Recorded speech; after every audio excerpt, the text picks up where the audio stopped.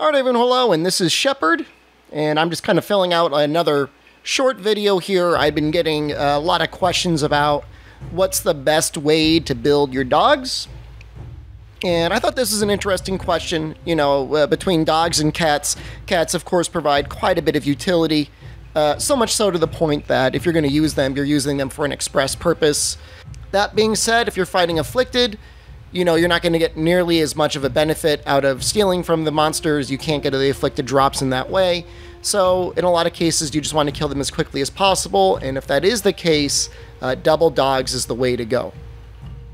So, when we're taking a look at the dogs and we're trying to absolutely maximize their damage output, uh, there's a couple pieces of their gear and there's a couple different stat boosts that you want to give them as you're building them up.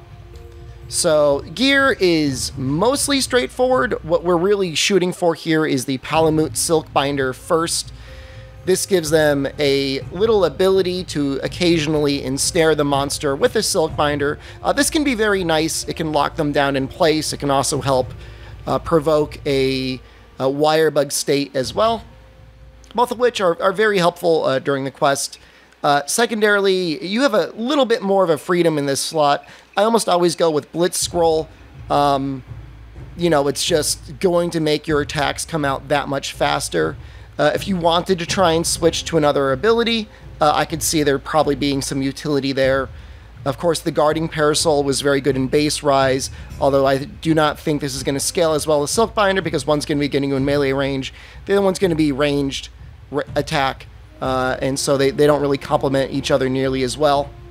You know, I've not really tested Heavy Strike or Flurry Strike quite as much, uh, but I have a hard time believing that those attacks are going to actually uh, increase the damage over just being faster in general. As far as the actual uh, abilities and skills, I'm going to get into this a little bit more as we compare the different weapon types that you can go with. Uh, but essentially, range centric, attack up large and small, ranged attack up and piercing attack up, it's going to have the overall best effect in terms of giving you the highest possible damage. Of course, if you're going to be running a status weapon and for some reason you really want to have possibly an additional status proc go off, you could of course put status attack up on both of the dogs. Uh, but in general, I don't really feel like that's necessary compared to the just straight up additional damage you're going to get from attack up large and attack up small. I did do some testing trying to compare uh, the overall strongest uh, raw damage weapon on the on the dogs. So overall strongest raw damage is going to be the Ibushi Pure Sword. Uh, this has 295 ranged attack with 18 dragon, which you know procs often enough on most monsters. You get a little bit of a benefit there. I compared that with the Narwa Pure Staff, which is 275 raw, so not that much less, and 26 thunder. Uh, and then in this case, trying to use an element attack up to see how far and well it goes. If we're assuming we're attacking a Pukei-Pukei's head, um, you're not really getting much benefit by going into element as all uh, compared to just going in with pure raw. Not only that, in my testing, I found things were a little bit interesting. Even though they're attacking at range, uh, the attacks that they do, even with their little ballistas, end up following whatever attack type they have. So if they have a cutting weapon, it's going to be doing cutting hit zones the entire way through, even on their little silk binder piercing shots. Likewise, if they have a blunt weapon, it's going to be doing blunt damage all the way through, even on a piercing shot.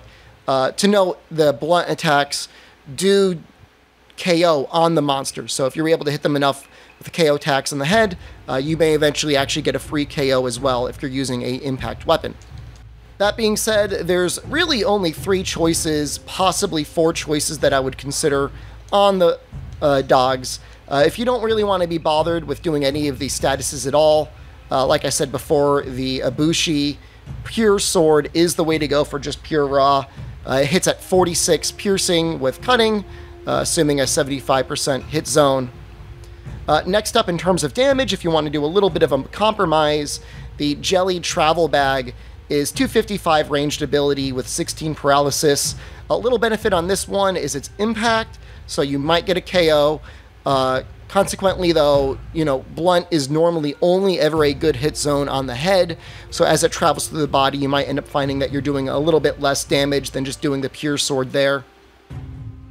Finally, if you're trying to go for the absolute most number of status procs, uh, the Disastro Bell uh, has 20 less raw than the Paralysis bag, but it has 23 sleep, so that's seven more status, which will definitely get you one more status proc on most matchups, uh, disregarding any sort of majorly status weak monster. You know, the choice between paralysis and sleep, I could go either way. Sleep, of course, is almost long enough as a paralysis on some monsters as they're falling asleep and then gives you the ability to do a wake up. But for those of you who you know don't really like having the flow state of combat changing quite so often like that, uh, I could definitely see going paralysis. As for myself going forward, I think I am just going to start running the Jelly travel bag with that setup I showed before. Uh, one paralysis is plenty for me in each fight. Again, when you're getting constant sleeps, it feels like the flow of combat is getting reset over and over again, and you're constantly going to be compelled to keep up your purple sharpness and line up wake up attacks. And while those are all effective and they help make harder quests much easier, and so if you're struggling, definitely consider that. Um, for my money, I'm just going to keep using the jelly travel bags, I think, going forward. All right, any questions about dogs or cats, let me know down in the comments below. Uh, if you like the video, this was a short one, so go, hey, throw a like and a comment down below. Subscribe to the channel if you haven't already. Stream on Twitch almost every day. I'd love to see you over there. Otherwise, until next time, this is Shepard saying good luck and have a good hunt.